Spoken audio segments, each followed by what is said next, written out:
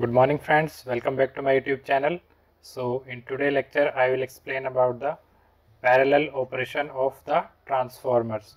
So what is the need of parallel operation?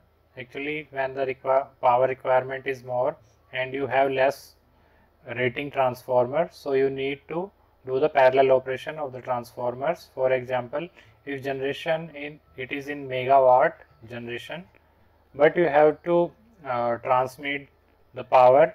So you need if you have transformer of less kV rating for example if you have transformers of kVA rating so you need to connect in parallel to transmit this much amount of power okay?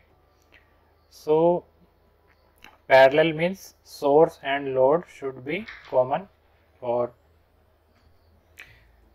conditions should be satisfied for parallel operation so condition number one applicable for uh, single phase and three phase transformer. These are common for both the transformer.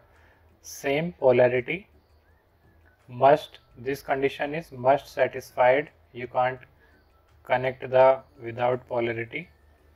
So all polarity at primary side you have to connect. Okay, line neutral and load side also you have to connect polarity points. Number 2 equal voltage ratio and same voltage rating this is also must. So if the transformer rating is something and the 4000 by 400 for example if this is the voltage ratio so both the transformer must contain the same voltage ratio in unequal voltage ratio circulating current will flow at no load of the transformer okay? If this is not same for both the transformers so there will be circulating current at the load side and this will reflect at primary side also. So you can't connect with the different voltage ratio. Point number 3 same per unit impedance for proportional load sharing in the uh, upcoming lecture I will tell you about this proportional load sharing. So Z per unit it is written on the nameplate of the transformer. So this is not required condition this is desirable.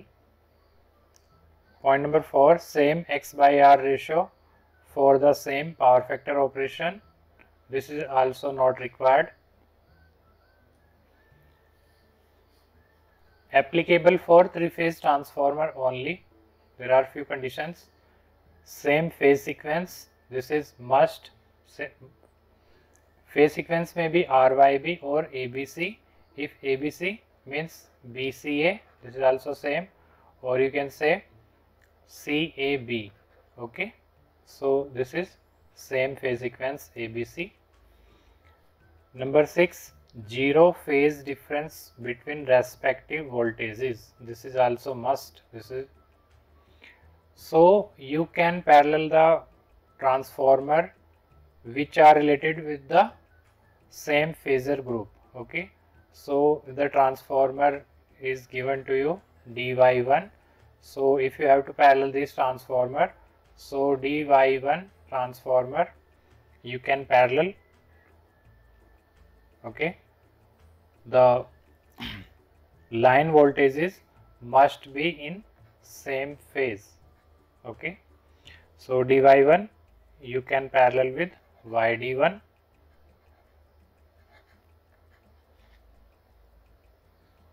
this is also must condition this is not desirable.